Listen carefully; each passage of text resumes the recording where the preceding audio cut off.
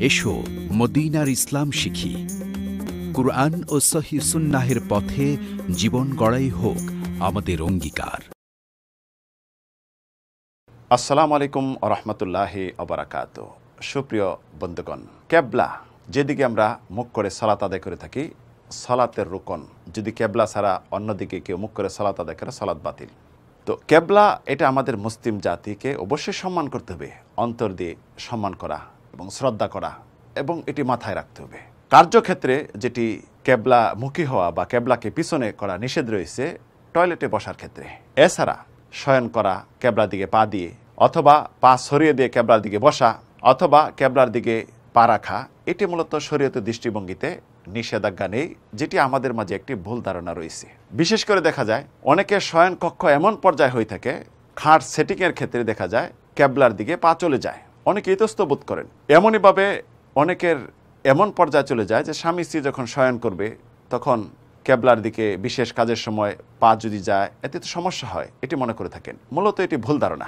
রসুল সাল্লাহ সাল্লামের শয়ন করার ক্ষেত্রে যেটি সুন্নাহ পদ্ধতি হলো, যেটি ইমাম বুখারি, মুসলিম হাদিস বর্ণনা করেছেন, বারা ইবনে আজেব রাদি আল্লাহ আনহু থেকে। বারা আজেব বলেন যে রসুল সাল্লাহ সাল্লাম আমাকে নির্দেশ দিয়েছেন ইদা আখাদা মাদ্দা কাফাতা ওয়াদ্দা ওদু আকালি সলাহ সুম্মাস্তাদা আলা শাকিক আল ইমান অর্থাৎ তুমি যখন শয়ন করবে, তখন নামাজের অজুর মতো অজু করে শয়ন করবে এবং ডান কাতে শয়ন করবে। এমনইভাবে রসালামের সুন্না একটি পদ্ধতি হলো, যখন শয়ন করতে যাবেন, তখন যেন এই ডান হাত এই গালের মাঝে রেখে, নিচে রেখে যেন শয়ন করেন। এটা রসলাম সুন্না পদ্ধতি।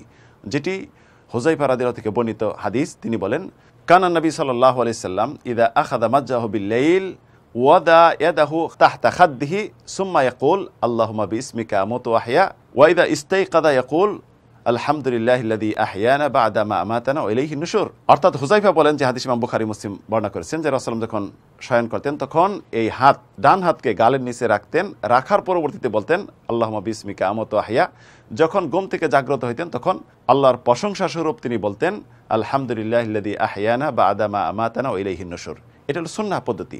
তাছাড়া কেউ পা যদি কাবার দিকে চলে যায় অথবা পা লম্বা করে যে কেউ যদি কাবার দিকে শয়ন করে, অথবা পা যদি কেউ বিছিয়ে লম্বা করে বসে, এতে কোনো শরীয়তে নিষেধাজ্ঞা নেই।